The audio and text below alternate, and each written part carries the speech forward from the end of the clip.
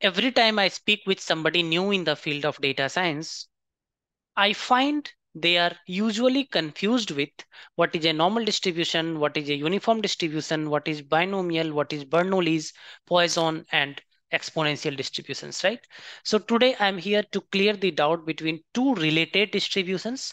One is known as Bernoulli's and other is known as binomial, okay? Very important to understand these concepts, guys. You may be asked questions in interview and it may not create a very good impression if you don't understand these basics, okay?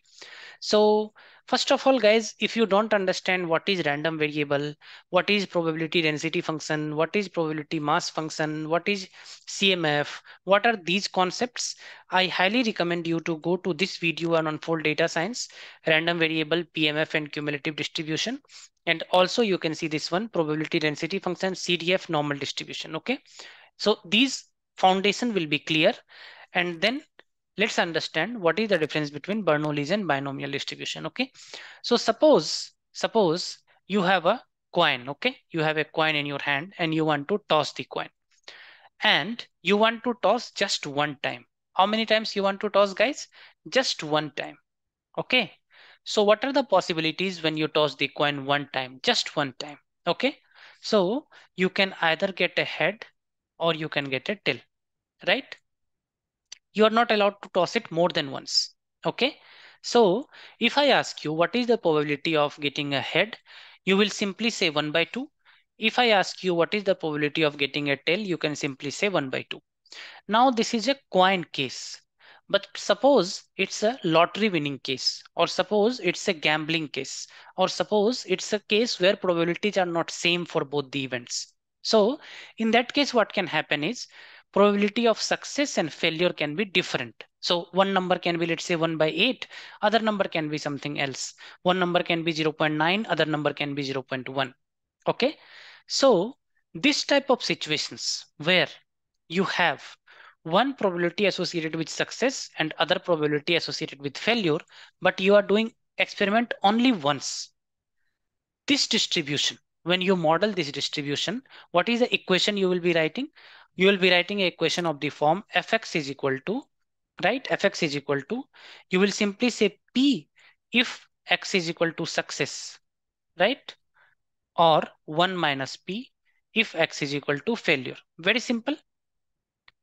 This kind of distribution is called a Bernoulli's distribution. Okay. Now this P, if it's a coin toss problem can be 0.5, it's a gambling problem maybe 0.99 or 0.01 but need not be same. P and 1 minus P need not be same. Okay. So if you follow this equation and if you model your random variable in this, then this kind of distribution is called your Bernoulli's distribution. Remember how many times we are tossing the coin? Only one time. Okay. Now let's try to understand how binomial distribution is different from Bernoulli's distribution. Suppose the same experiment you do multiple times. Okay. So here for example, I toss a coin first time, head and tail, some possibilities 1 by 2, 1 by 2. I toss a coin second time, head and tail. I toss a coin third time, head and tail. Okay? Head and tail.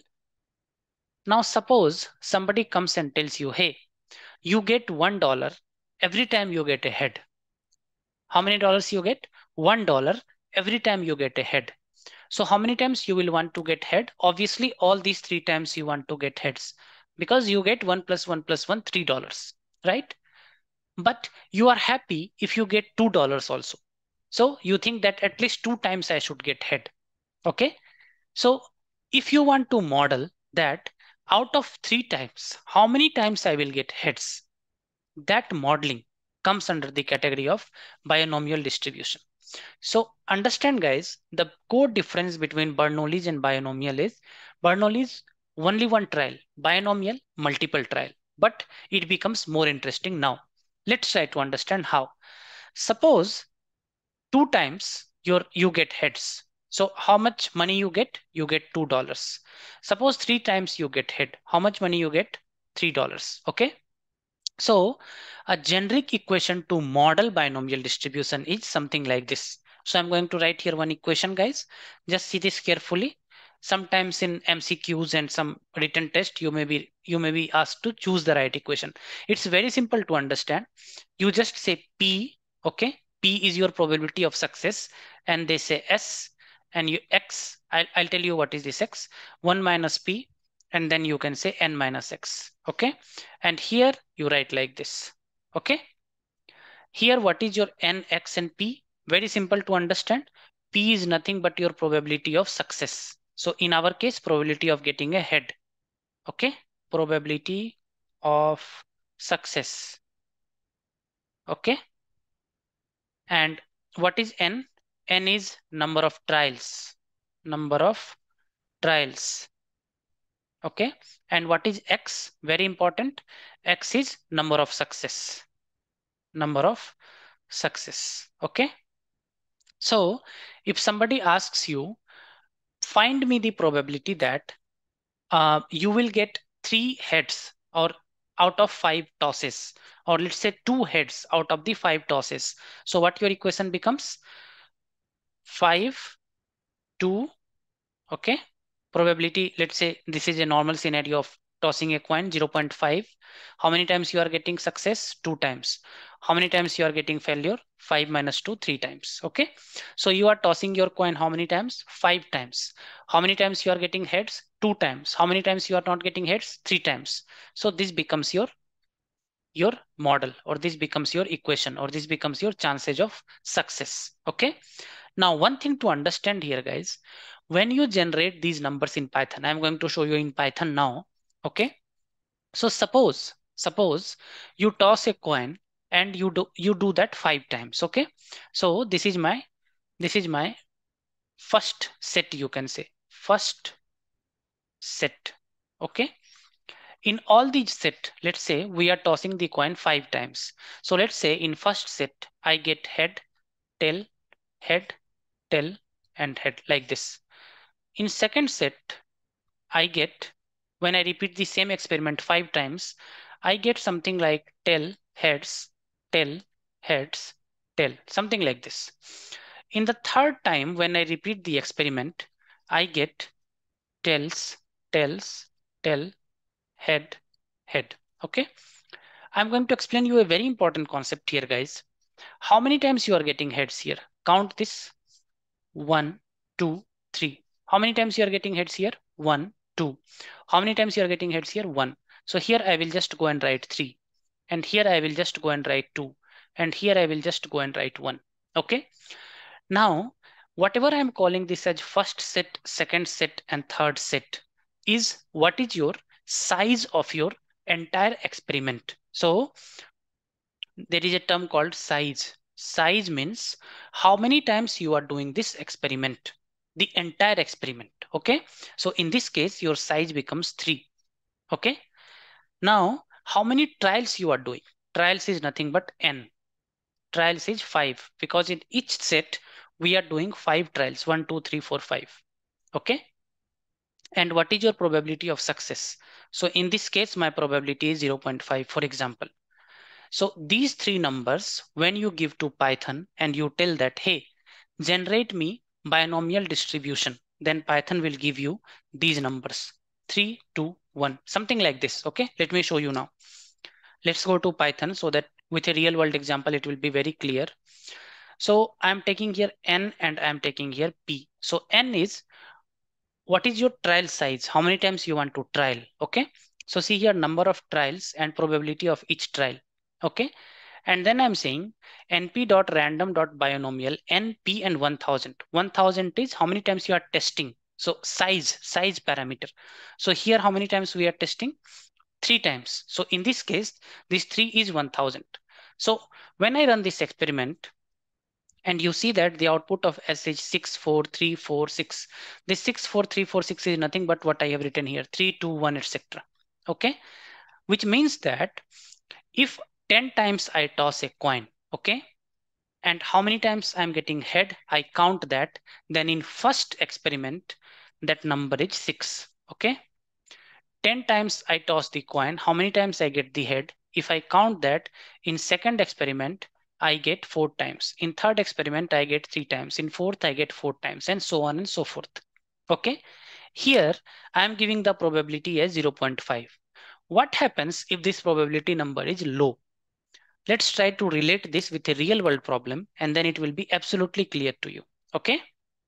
So come here, there is a real world problem. A company drills nine wildcat oil exploration wells. Okay. So a company drills nine wells. What is the trial size here? Nine. Okay. Each with an estimated probability of 0.1. What is the probability of getting some oil? 0.1. All nine wells fail. Okay. What is the probability of that happening? All nine wells fail means we are getting zero output. So that number is zero, whichever we are getting. So here I am saying three, two, one, right? That number is zero. Let's do 20, 20,000 trials and count the number that generate zero positive results. So how many times zero are there? So if I take this, right? If I take this, in this one, how many ever times zero is there? That means experiment failed. Sum is zero, right? Sum is zero means none of the experiment is successful. Okay, hence the sum is zero. So with 0.1 probability, if I do nine trials and if I repeat that 20,000 times, then the probability of experiment failing is 38%. Okay. The probability of experiment failing is 38% because 0.1 is a very low probability. Now, if you increase this probability of 0.2, what will happen? The probability of failing will come down. So let's see here, 13% only. If we make that 0.05 or 0. let's say 10, increase the probability, right? So 0.30, for example. So it will come down more. Only 3% chance that if you do this 20,000 times, then you will not get the oil. So what we are trying to understand here, guys, please understand the difference between N, P and size. N is how many trials you are doing. In our case, in oil example case, nine. P is what is the probability that you will get oil. In our case, oil case 0.1. Size is how many times you are repeating this experiment. So in our case, 20,000. Okay. So if we are doing these nine things and we repeat this 20,000 times with 0.1 probability, there is 38% chance that we will fail in all our experiments. Okay. And we saw if we increase this 0.1, then there is a possibility that this 31% will come down, 38% will come down. Okay. So all in all, what is the difference between these two? Bernoulli is very simple to understand. You just have one trial, nothing, nothing else to worry here. Okay. Only thing to remember this P and 1 minus P can be different. I mean, it need not be same. I mean, P need not be 0.5. It can be 0.2 also. Okay. And in binomial, it's a combination of multiple Bernoullis. Okay. So in binomial, if you make n is equal to 1, that's nothing but a Bernoulli distribution. Okay. So here you will do many trials and then this is the equation for modeling that. And in Python, if you want to generate the numbers for this, okay, how many times you are successing, then I showed you how to generate the number. Somebody asks you what is the difference between binomial and Bernoulli, one trial versus many trials. And here you can get the probabilities of many trials. What is the success and what is the failure probability? Okay. So this way we have to understand the statistics concepts, guys, so that if somebody asks you, it should not be like, you know, we don't know the basics. So let me know how did you like the video, guys, and I can explain you more, more distributions around that. See you all in the next video. Please give me a thumbs up if you like the video. See you all in the next video, wherever you are. Stay safe and take care.